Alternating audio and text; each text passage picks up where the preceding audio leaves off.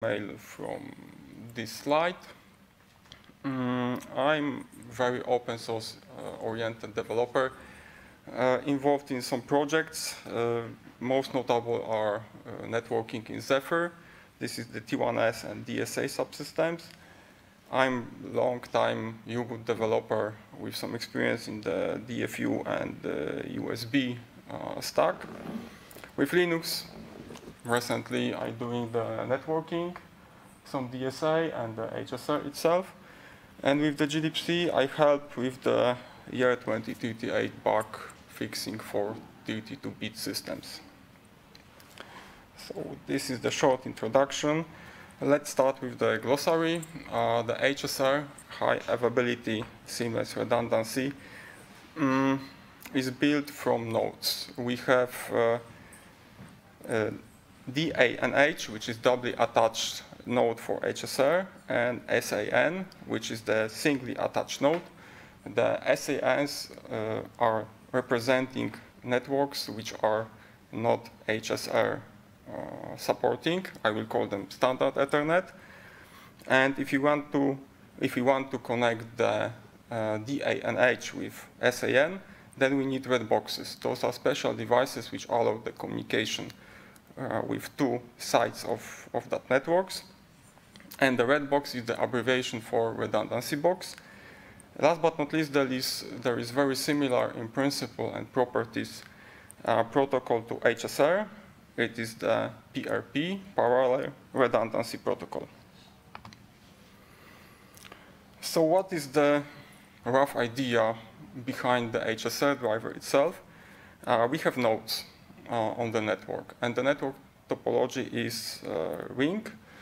Each node uh, has two Ethernet ports. And now those two Ethernet ports, they form single SAH, uh, uh, port. In principle, when we want to send data from the uh, node, for example here, uh, the frame is uh, passed to the, the data is passed to the SH, uh, SHR uh, driver, and then the frame is duplicated. So we have, we send exactly uh, two copies to the network, one on the one Ethernet port and the second one to the second Ethernet port. In that way, we have two copies flowing in the network, and then the destination node, uh, for example here, is receiving either two copies, and then it decides if one shall be discarded, or because of some failure, uh, for example, node is broken or the connection is broken, it only receives one copy. And this is enough. The networking still is working. Mm, as I depicted on the picture, uh, we have the red box node, which allow us to connect between the uh, standard Ethernet, like SANs, to the ring with the HSR nodes connected. Last but not least, uh, the node which is sending the frame, the duplicated frame, is responsible to remove them when it detects that the frame has made the whole circle. This prevents looping indefinitely uh, the frame in the, in the network. Okay, so how this is done in the level of frame. Um, we have the SAH, SAH, SAR um, tag inserted. It has six bytes. Uh, first two bytes are the ether type. In our case, this is the 0x89-F. Then we have the path ID, which specifies the direction in which the frame was sent. We also have the frame size because we can have different uh, HSR frames. Uh, for example, we have supervisory frames, we have supervisory frames from red boxes, we have uh, normal data uh, frames. So this is different for each case. Mm, and last but not least, we have the sequence number. And this is crucial because sequence number uh, in conjunction with source address allow us to assess if, the, if we already received the uh, copy of the frame and the copy which we receive afterwards can be dropped.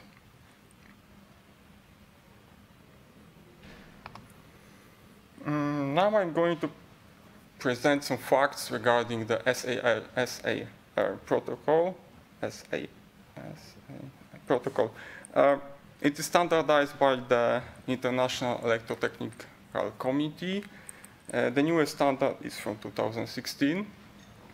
Uh, this protocol is very similar to PRP in principle and in properties because uh, the PRP basically has the more the star topology. This is the uh, redundancy network. So we have two networks in parallel. Whereas for the HSR, we have the ring topology. As I mentioned, uh, we have two Ethernet ports, on top of which we build the HSR network device. Mm, frames are duplicated. That is the reason why we receive at least one copy. Mm, and also, as I showed previously, those frames are not compatible with uh, standard Ethernet frames. And this is the motivation for Redbox devices. Mm, as we have the duplication of frames, of links, there is no single point of failure. So even when the node is broken or the connection is broken, then we receive the data anyway. Mm, and this is the most important property of the protocol because we have first zero switch over time. So we don't have we don't need extra time to reconfigure the network because of the failure, which is the case in, for example, RSTP. And also we don't lose any packets. So the data is flowing anyway. And uh, this makes it suitable for mission critical, safety critical, hard real-time uh, use cases. Uh, and it's used mostly with the uh, industry slash tra transportation or heavy industry or avionics. So this is the use case for this particular driver. Um, it is possible to offload some of the operation to hardware. For example, the duplication of, of frames can be can be do in the in the hardware device itself. Uh, and this driver is off-the-shelf driver because one example, the most notable, is the KSZ 9477 from Microchip. It was Micrel previously, uh, which can be used for such uh, use case. The KSZ is uh, the switch uh, circuit, well known to be the, the switch circuit. And also it is possible, according to the standard, to monitor the health of the network itself because in two second interval by default, because this can be adjusted, uh, the supervisor frame is sent, which will uh, allow us to know which node is still reachable, if there is connection uh, failure with the connection, etc.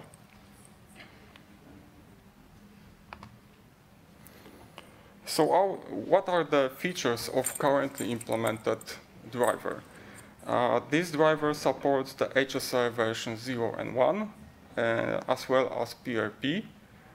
And this is done in pure software. So this can be done in pure software. This is one case. Mm.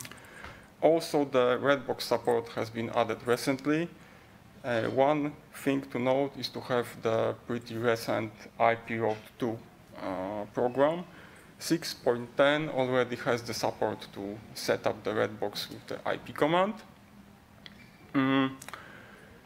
The HSR driver can closely cooperate with DSA driver, which has the uh, hooks or callbacks for setting up the HSR uh, protocol support in the uh, switch port. Uh, also, the red box is filtering some traffic which is not supposed to be received by the other side of the uh, network. For example, the HSR traffic shall not be delivered to the normal uh, Ethernet uh, port when not needed, and in opposite direction. This uh, helps with improving the performance. And as, as I say, there is offloading support. Uh, the KSZ9477, it uh, has hardware support for uh, duplication of the frames and also to send frames, one frame to the to two uh, HSR-aware ports. So this is done in uh, hardware. Moreover, it has some hardware support for uh, removing duplicated frames, but this is according to the manufacturer not 100 not working 100% uh, in, in all the cases. There are some cases in which uh, the frame can be not dropped, so we need the software fallback anyway, but this uh, provides substantial improvement in performance anyway. Uh, there is uh, another chip used, XRS700X, which despite of having the features from the above one, uh, it also can in hardware insert and remove HSR uh, tags. And the flags which are presented here, uh, those flags are accessible, accessible from Ethernet tool, at the ethtool, and can be assessed if are supported or manipulated. Mm. Also, it is possible to inspect the node table uh, status in, in the, via the driver, so one can see what are the nodes on the network available. Uh, there is some ongoing development. Uh, there were two patches developed by Sebastian Andrzej recently. Uh, one of them replaced the plain plus plus operator with the sequence number increasing uh, with the atomic operation and also optimization for spin lock usage was uh, done. Mm, I also saw some patches from TI. Uh, this is the AM64 uh, SoC and it provides the hardware support with the IC SSG IP block. But for doing that, you need the firmware from TI anyway. But to note that the hardware offloading is also possible on this architecture.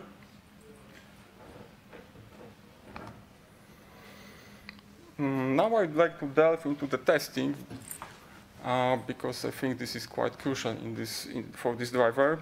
Uh, first approach is to use the hardware. Of course, this is very welcome for uh, the customers because you can test it with the real hardware, how it works, uh, or how it will work in the uh, during the deployments, etc.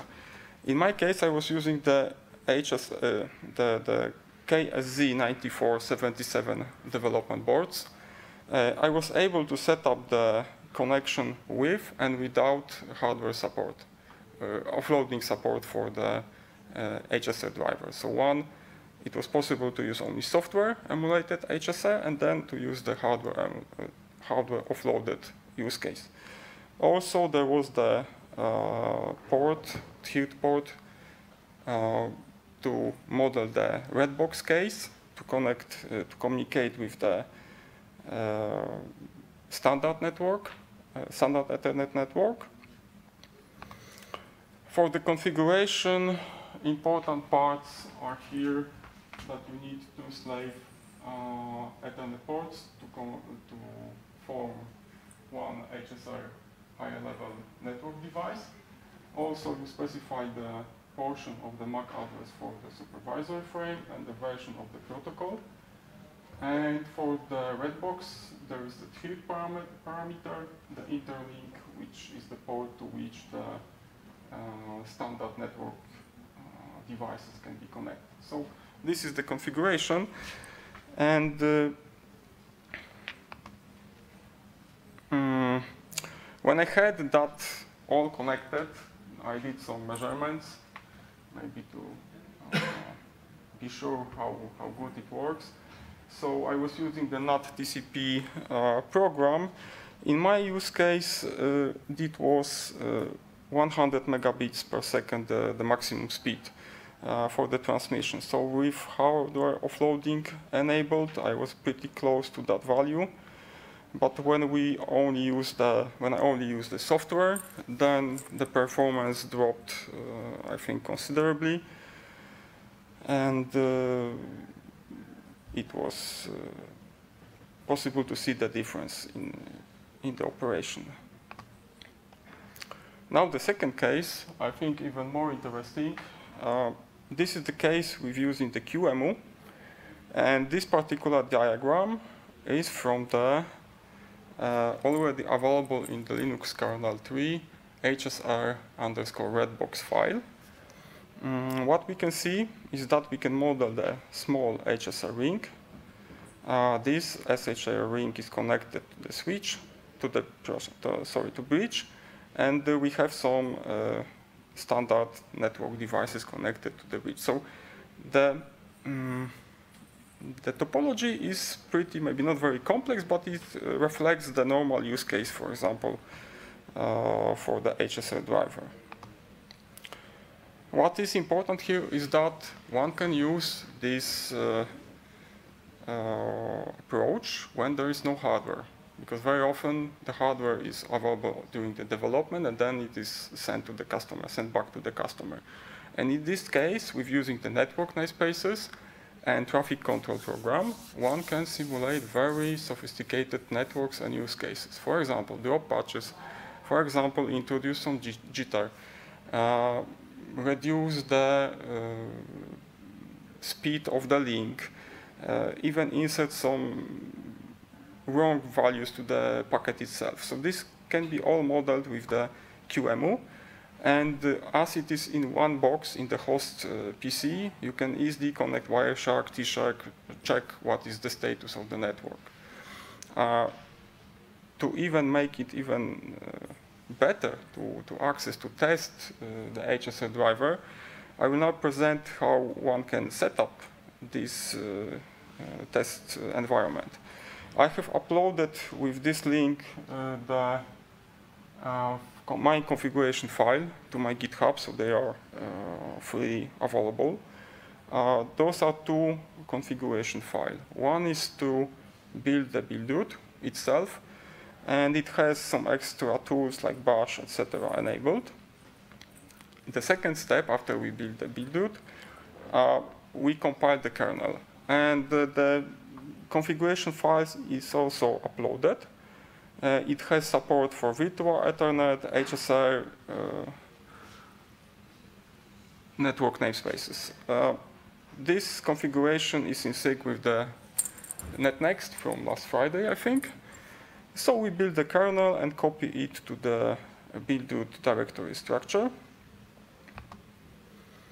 Last step is to, of course, uh, start the QEMU, but uh, we need to mount with the SSHFS uh, the directory with the test itself. So this is under tools, testing, self-testness, and HSR. And then we can freely run the SSH Redbox and SSH uh, ping. So it is very easy to assess if the uh, tool is working correctly or uh, if the driver is working correctly with that uh, approach.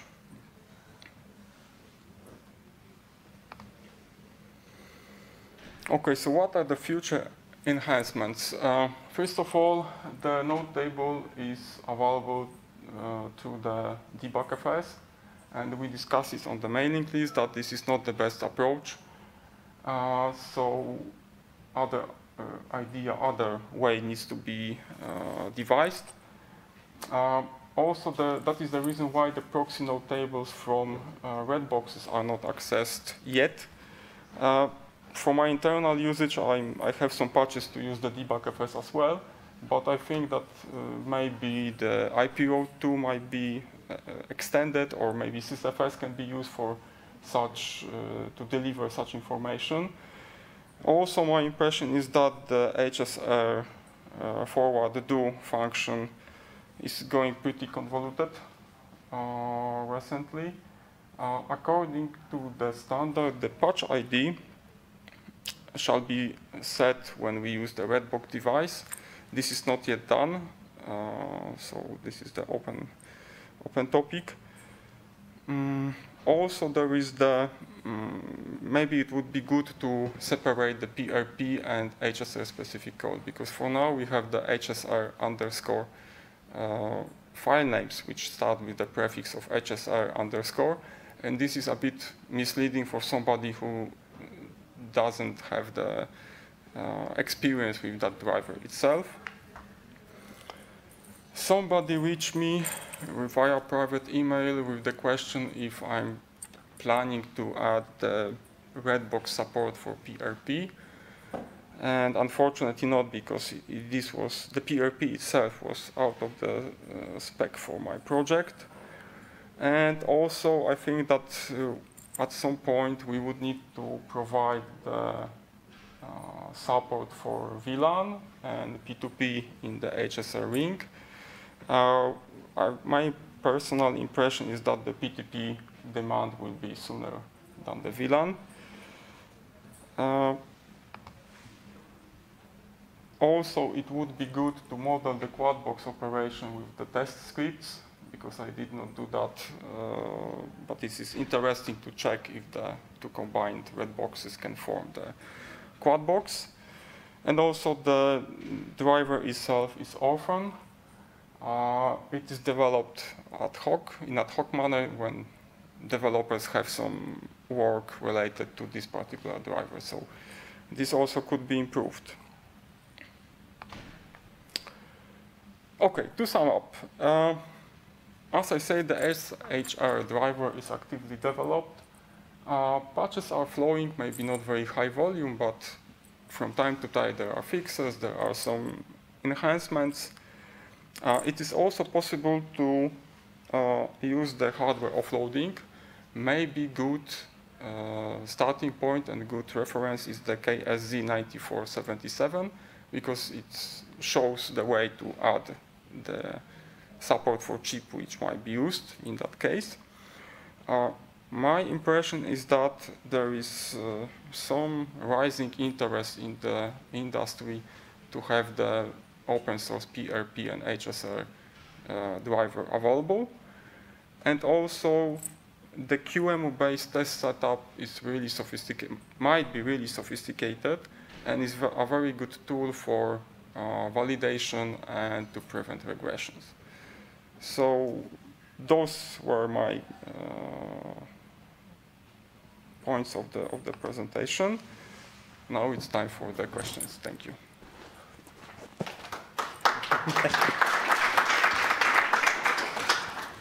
Uh, how the, the duplication is actually working? Is it based on some kind of uh, frame ID or just arrival time? Uh, the duplication is that uh, when you use the offloading, uh, then you have the, uh, the hardware itself is just copy the binary data. So in the case of the hardware, the KSZ, for example, it just copy binary data, and even the path ID is not correct according to the standard because you have the path ID of zero and then it sends it. So this is like one way. The second way is that in the driver itself, it just copy binary data uh, when you have the interface before you send it to the. I mean deduplication. It, ah, deduplication. Yeah. Okay, sorry.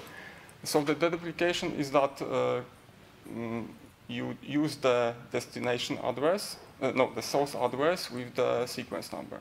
So you have the in, in buffer the number of received uh, frames, and when you see that okay, I have already received that from that uh, source address with that sequence number frame, then when you receive the another copy, then you knew okay, this is already served, and you toss it away. Are there some kind of uh, maximal timings between arrival time to uh, duplicate it, deduplicate it correctly? I think there is specified by the standard, but I would need to delve into the. For sure, there is like the information stored in the uh, node, which receives the data. You have the list uh, and some cache with the frames available. So it just has the information what what was received, and then uh, by using the destination, the source address and sequence number, you just remove it. Hmm. And one more question, how PTP is expected to work there? I saw some presentation from Cisco that uh, you need to hack uh, the way that you receive the frames because you have the duplication, so you don't know which one is the correct one. And uh, you would need to delve into the uh, received frame and then make the adjustments. This is done already with the Cisco but uh, they advertise this, but I was not thinking yet how this can be moved to our Hmm. uh, driver. Because uh, if I imagine it correctly, the path of the frame inside of the ring has uh, some unexpected uh, latencies inside of the switches. And as far as I know, cassette switches do support transparent clock, but only if DSR is disabled. If CPU tagging is disabled, then the transparent clock will work, and if not, then I don't know. I mean, my impression is that for now the demand was to have the HSR from the Linux kernel with hardware offloading and pretty good performance. And that was the, the case here. But uh, if the PTP will show up, I think yes, because for the transportation or uh, any uh, real uh, time support, it will be required anyway. But I don't know how, how it can be yet uh, done. We just move step by step with some basic, uh, how to say, steps to follow, right? Hi. Um, there is a specification for PTP and HSR, and I've been working on it for like two years ago, twice, and it canceled, got cancelled twice. Um, you need to uh, patch Linux PTP like big time to uh, support transparent clock and dual clock and whatnot. Uh-huh. And I have no idea how to get it done in the kernel. You need um, the Linux way you have the sequence number is that the highest one wins. That's why you have to send in one by one and shoot the last packet uh, left and they got not, not to get reordered. Um, either way, you need to send packets from uh, userland which get uh, duplicated on both links, and you need to have one-to-one connection on both sides of their Ethernet link to get one-to-one connection for the clock. Okay. I'm not as far as doing code. I have the specification, I think, um, this year. And then it got canceled again because um, the more nodes you get, the slower it gets, and then people say, no, it's not worth it. Okay. So this is the open question if there is the Right. So this is what you need to keep in mind if you ever try to implement it. okay. So the performance drop is uh, Well, the performance drop is because you need to um, say you have 20 nodes, right? Then you have to copy the packet, and it gets slower and slower with each node. So each one I know that are using this in production have um, FPGA with cut through. So what you get in Linux is um, all set. okay. You don't worry about anything else. Um, TI, with uh, what you presented, I'm not aware of anything recent. I know they have heavily patched kernel and user end, including Linux PTP, with their hardware. And for something Linux kernel is what they offer. I haven't seen anything recent. I think that were patches uh, from a few days ago, like at least from the September. Ah, okay. That's news to me because back then when I tried to do it, I was like, hey, what's doing TI? Maybe we can copy it. And this was, no, no, it's heavily dependent on what they did on their firmware side. Uh-huh. Okay. So at Yeah. best, what we Yes. have in Linux now, we have the uh, some off-the-shelf uh, device with the uh, limited of offloading, and uh, at least in my case, we are happy that the performance was uh, high enough to have the 100 megabits transport uh, speed achieved. So this is the the current status of the driver. What would be the next? Then I cannot uh, say what would be the next demands. Okay. Um, maybe the first question: Can you do it selectively? Like, like, can you say, for example, I don't know, this uh, destination address or something like we do HSR, and for another we do it, we don't do it. So, I mean, for example, to have, like, you could say, okay, the the the application traffic uses HSR, and for the time synchronization we don't use it because we have another setup, something like this.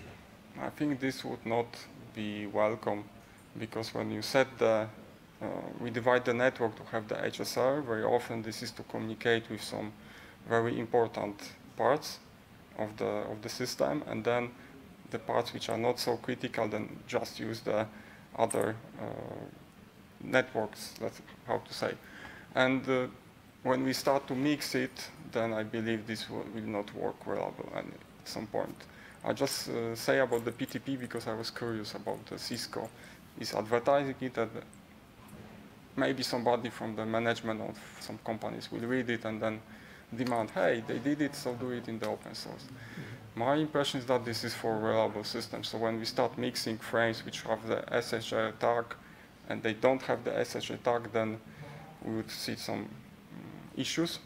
Okay. And uh, one impression from using the KSZ 9477 was that when uh, the chip was not correctly configured, when there was no separation, when the, all the frames were mixed, then it was not working correctly. There were some subtle bugs. So also the way the hardware is configured is important in, in this case. This is why I mentioned the DSA uh, configuration hooks and etc. Okay, I see. Um, another question. So I seen in the in the in the tag there is a four-bit uh, path ID. So Yes. are there more complex topologies than just a pure ring where I'm, w- you No, would only need one bit? For the HSR, this is the uh, just one bit is used, and uh, Okay. for the PRP, more bits are are used. Ah, okay, I see. So they use basically the This is same why I tag say in principle PRP is very similar to the Okay, I see. They're just uh, different clauses in the in the Okay, I s- see. standard. And the last question, um, how would you operate it properly, such a network? So what, what I mean, for example, when I, when I ping, just send a ping to, between two, two uh, devices, and one link is, one part of the ring is, for example, broken, you would not see it. Uh, you would you would not notice that because you just use the H- HSR higher level, uh, how to say, network devices. So you just configure the routing to use the uh, that one, and you don't see the uh, network ports which are uh, in the from which you build the SHR device. So you just see the HSR zero, for example, and then you just send the data, and you will not notice that something went broken. But- Where you can notice that something went broken is the node table, which uh, allows you to. Uh, where is the? You have the node table, which will have the information about the network status uh, itself. Okay. And so we have the node table, which will say that, okay, node table from this node we say that, okay, there is a path to this uh, port, the path to this port, and uh, you will see the, the status and healthness of the, of the system itself. So, okay, and I, I can get that via ethtool or whatever. Excuse me? So from user space, how can I, Uh, the node table. You can use the node Okay. table to see what is the status and healthness of the, of the driver itself. When you send pings, you would not uh, see that uh, the duplication. Of course, if you disable debugs, but uh, you normally will not notice that. okay, so I, I just from user space access the node table and then I will see, okay, yeah, this, this part of the ring is probably yes, broken. That it was Yeah. because with the two seconds interval, you have the uh, update of the the frames. The supervisor frames are sent with two seconds interval. So when you unplug the cable or do something like that, you will notice that something will be But only after um, two seconds or yeah. Okay. But you shouldn't notice that uh, when you the network is properly configured and you have two uh, how to say two paths to travel. Mhm. Okay, thank you.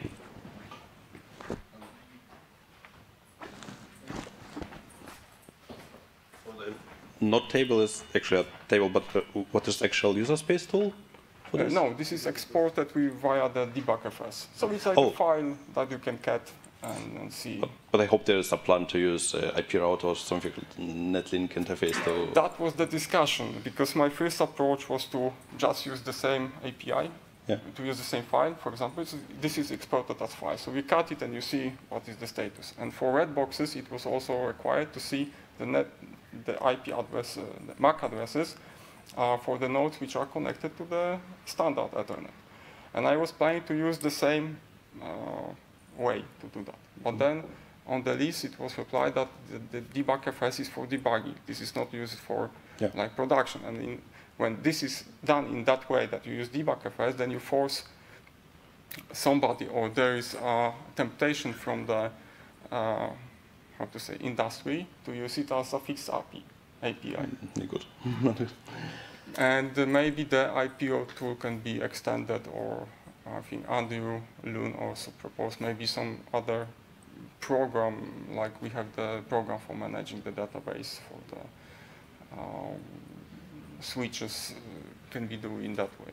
Hmm. So this is the open question. Maybe SysFS, but I don't know uh, if can be used for, for this. I um, diagnostic fan, so I like uh, to, to make uh, diagnostics which uh, works in embedded devices and automatically without inter interaction of the human. Uh, and uh, I just uh, trying to imagine how to uh, diagnose this kind of issues as fast as possible. That there is a regression in the uh, ring, Uh-huh. and uh, in this case, I can imagine that uh, the, the kernel sh- uh, need always uh, watching what is the state of the neighbor table, or whatever table name is it, and uh, if there is a changes, then push some kind of broadcast uh, notification over netlink to the user space that oh there are I mean, changes. As, as I say, on the very beginning, uh, the demand, the, the requirement was to have the full speed uh, HSR with the ring support, uh, red boxes with the 100 mega uh, bits per second. And that was the basic requirement. And for, for the daily use or for testing, it was enough to add the code which was out of the tree. But for have it done properly, then maybe a bit more Yeah. uh, discussion is, is required because at some point people will start using that and uh, maybe they, they already did it. All right, thank you very much. Thank you. There's a little speaker gift. Thank you.